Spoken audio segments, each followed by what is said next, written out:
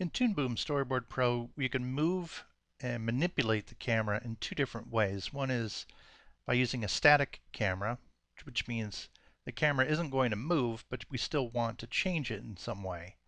And the other is with an animating camera, where the camera itself moves either as a pan or a truck out or a twist, something like that. So right now we're going to look at making a change to the static camera. And the way to do that is first go into one of the areas where you have the camera view. That would be, uh, right now we can see it within the timeline view, but more commonly I would use it from the drawing workspace. I will go over and select the camera tool from the toolbar and now you've seen that this rectangle has changed and it has a little handle in it now. And what we could do with this rectangle is change the size of the camera frame. Take Keep an eye on this thumbnail down here and you'll see how it changes. So if I want to make the camera tighter, I just grab that corner and drag it inward toward the center. And you can see the thumbnail updates so that we can actually see what the frame will look like with that new camera. For if I want to pull it outwards, I just grab that corner, that little handle, and you can see the symbol has changed. There it is. And I drag it outward, and now this will make the camera bigger. So watch down here, and you can see it just changed. If you need to get more room, use the plus and minus symbol, and this just moves you back away from the artwork. It's not changing the size of the artwork at all. So again, you can keep pulling that back to make it a super, super wide shot. You can also move the camera. Well, let me drag it back in first. Drag it back in.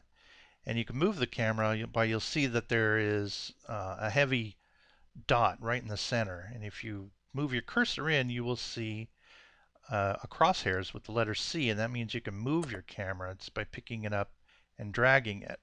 And now that I've done that and I've dragged it, you can see the thumbnail gets updated to reflect that. So that always happens. It can really give you a good view of the changes that you've made to the camera. Sometimes it takes a little while for that to update. It just depends on how powerful your computer and your video card are. After you've made any sort of change to the camera, the outline of that camera is now going to turn green and it will remain green. But if you want to reset the camera to where it was before, you can go up to Storyboard and then pan all the way down until you find reset camera. There it is, reset camera. And when I do, the uh, camera has returned to its original state and it also no longer has that green background on it. Another way that you can move the camera using the static camera is instead of making it bigger or smaller or moving it is by rotating it. So if you move your cursor up to the corner, you'll see a rotation symbol and you can just click and drag in the direction that you want to go and now the whole camera has been tilted. Now right now you see it in the preview as a tilted camera but as you'll see when we export these to either PDF or a bitmap image uh, the image is automatically going to be tilted so that this frame is perfectly straight and that the drawing inside is tilted which of course is the way that you want it to go. One really great camera option that I use all the time is that you can copy and paste a camera position.